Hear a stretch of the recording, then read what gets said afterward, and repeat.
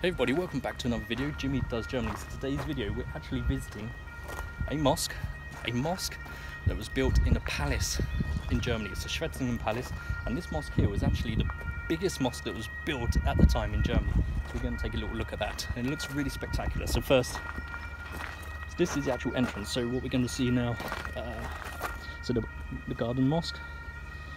Um, so there you go, all in English, the garden mosque. So let's check that we're allowed, so no dogs, no smoking, no food, no umbrellas. Okay, so if it's raining, no umbrellas. Okay, what I want to do is actually get over there. I've been pretty much spent the whole video, the last video, trying to find this place, trying to get into it. It was closed on the other side and realised after asking a very lovely lady, she said it's because of this corona situation, it's all a one-way uh, it's a one-way system with the walking and stuff. The main gate was closed at the front. We had to now walk around the back. But what a fabulous place! Really. I think we're just going to walk in here. So if you haven't done it already, hit that subscribe button. We'd really, really appreciate you joining us on this journey where we're making videos, German videos, about German culture, German traditions, and uh, yeah, everything Germany. Anything that's happening in Germany, we may even take you across the border when the whole situation's calmed down a little bit, because as you know, Germany is located in the centre of Europe. So we can drive in any direction and pretty much go across a border.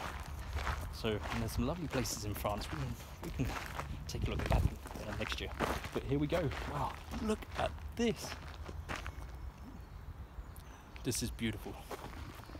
So you notice all of the colouring here. Okay, the colouring of the wall has all been painted to match the actual Schwetzingen Palace. Okay, the palace that we visited in the first part of the videos. So all the colouring here is to match. So this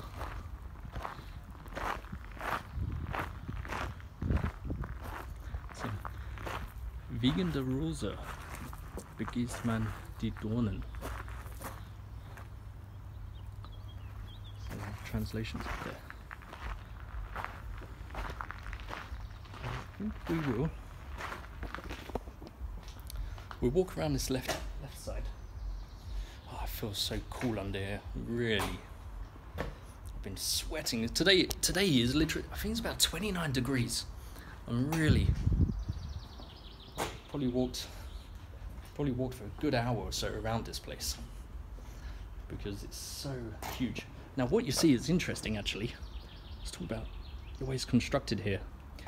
These roofing tiles it's it's actually slate. So a friend of mine who's a, a Dachdecker, a roofer. So Dach is a roof, a Decker is somebody that covers it, so Dachdecker. He's a he's a he's a Dachdecker and I helped him actually put a lot of this on his own house. And it, it comes in just like these square rectangle sheets and you use a hammer and this little blade and you, you shape it up and then you lay it on the roof. And there's a you can see how the sun just shines off it.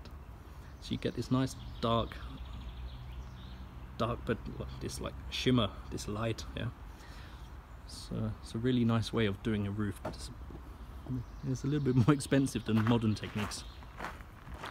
Look at this place really beautiful now I'm not going to walk across this grass I know it seems pretty empty here but I know the moment I walk on that grass Someone, somebody's gonna shout, hey!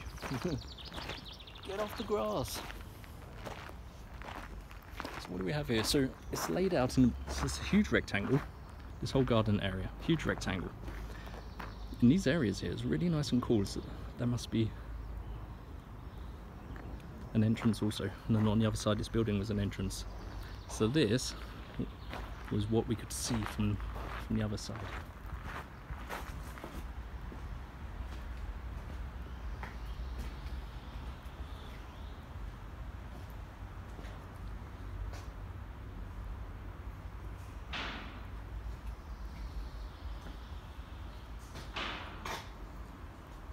Oh wow, so it looks like this place has been decorated. Let's see if we can take a peek. Hello. Hi. that Darf ich kurz gucken from here? Yeah. Wow. This here is super. Wow, look at the way all of this is designed. That up there is actually glass. A small glass glass window. Wow. And it looks like yeah, must have all been hand painted. Beautiful session. And it feels really cool in here. It's nice, so nice. Wow. Vielen Dank. Cheers. That was a really nice surprise.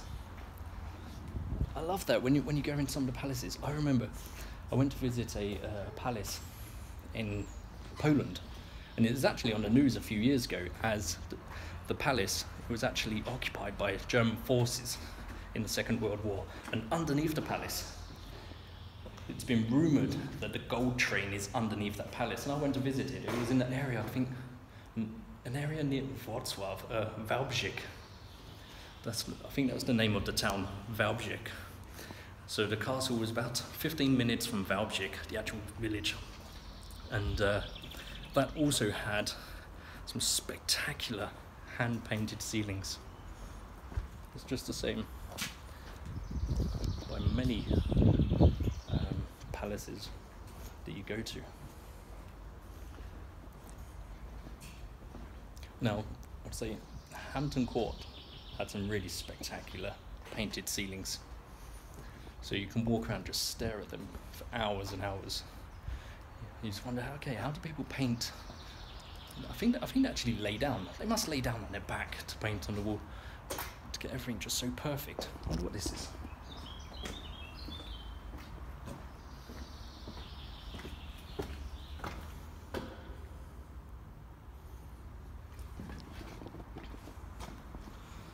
Cool. I could happily live here, not a problem. In this outer region.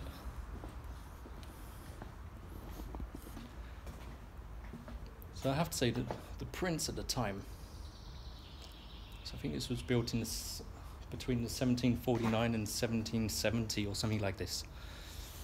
And the prince at the time has really done a spectacular job with the architects to actually creating, building this. I'm looking up at the building now. I can see through the window the ceiling, but I'm not sure if we can actually get up there.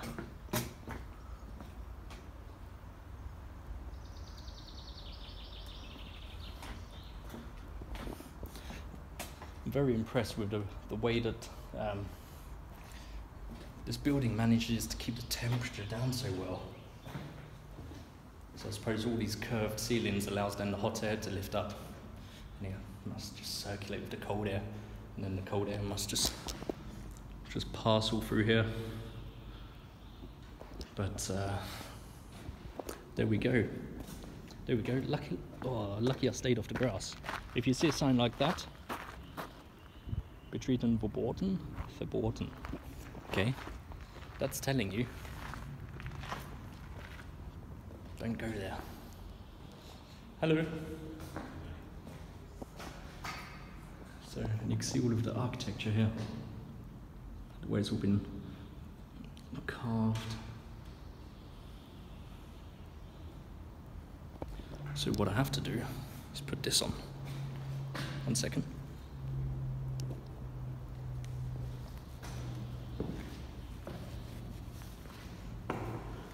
Okay, so here we go, it's the exit on the way out. Ah, but we may, may be able to get a sneaky, sneaky preview of all of this. Hallo? Darf ich ein bisschen filmen? Darf ich ein bisschen filmen? Ja. Oh, well. Let's take a look at this. That is spectacular. Maybe we can zoom in a little bit.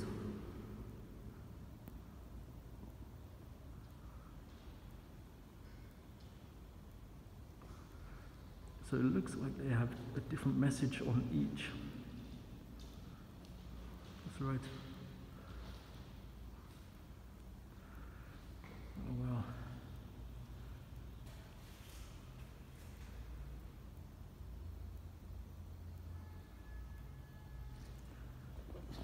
So this is going to be the end of this video then.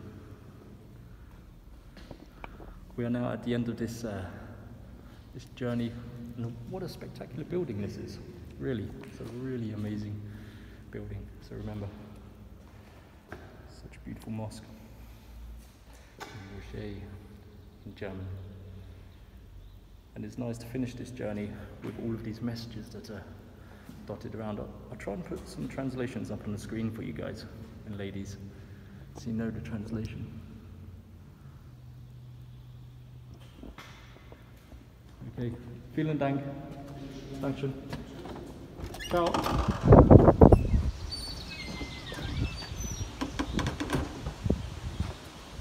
Oh well, so here we are. That is Probably one of my favourite videos actually. What a fantastic location. Beautiful location.